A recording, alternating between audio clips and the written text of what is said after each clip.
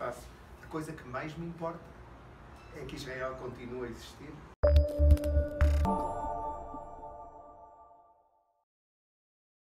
A coisa que mais me importa é que Israel continue a existir, que esteja aí e que dure para sempre. E que não seja aquilo que os islamistas que eu entrevisto, do Daesh, do Estado Islâmico, do, do, do Al-Qaeda, do Hamas, da Jihad Islâmica, eles sempre me dizem: ah, Israel, Israel é como os cruzados. Estará um tempo e acabará.